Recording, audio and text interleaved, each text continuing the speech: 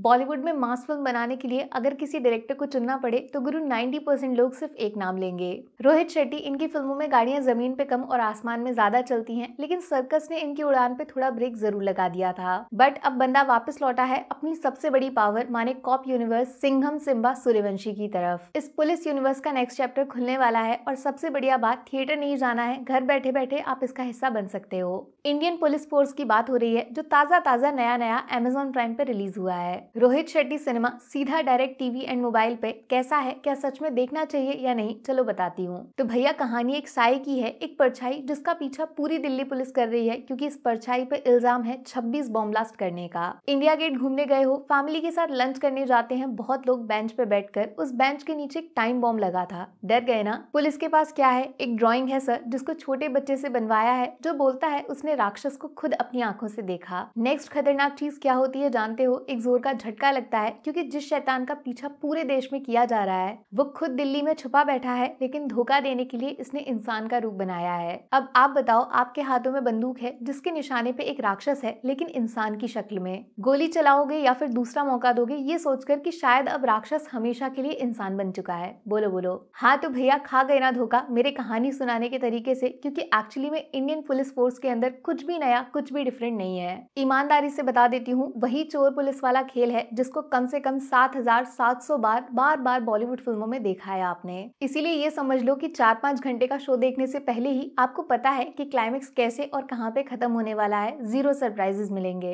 अगर आप family man जैसा suspense thrill twist and turn expect कर रहे हो तो सॉरी भाई, इस सीरीज़ में उसका दस परसेंट भी नहीं मिलने वाला। कंपेयर भी मत करना। राइटिंग बहुत ज़्यादा वीक है। कुछ नया सोचने का ट्राई भी नहीं किया इन लोगों ने। वही पुराना हिंदू मुस्लिम जो अब हंड्रेड परसेंट प्रिडिक्टेबल हो चुका है। चलो कहानी तो सिंघम सिम्बा सूर्यवंशी में भी कुछ अलग टाइप की नहीं है। चोर पुलिस वाला गेम वहाँ भी होता है, लेकिन मज़ा तो फुल आता है है ना?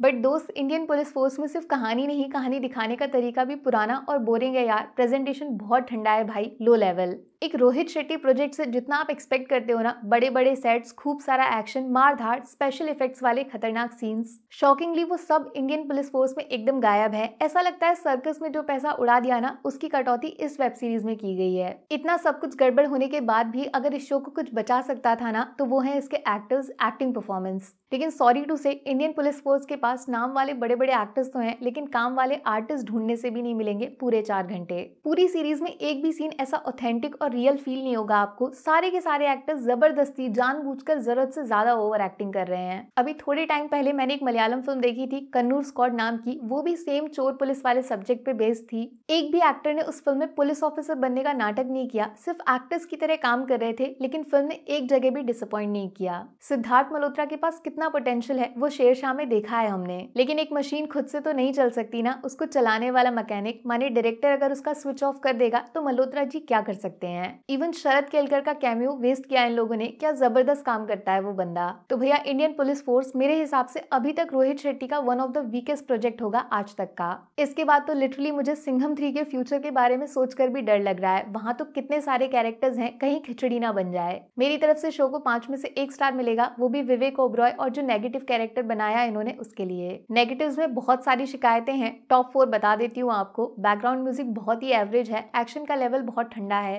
एक्टर्स को सिर्फ़ नाम पे कास्ट कर लिया, काम किसी से नहीं करवाया और पुरानी कहानी प्लस कमज़ोर राइटिंग इस वेब सीरीज़ की असली विलन है, जो एंडिंग में जीत भी गई। अच्छा चोर पुलिस सिनेमा देखना है तो वो कन्नूर स्कॉट ज़रूर देखना यार हॉटस्टार पे मिलेगी। मेरा शॉर्ट वीडियो भी देख सकते हो उस बारे में। बाकी थोड़ा सा इंतज़ार करिए, मिलूँगी आपसे अगले वीडियो में। Take care bye bye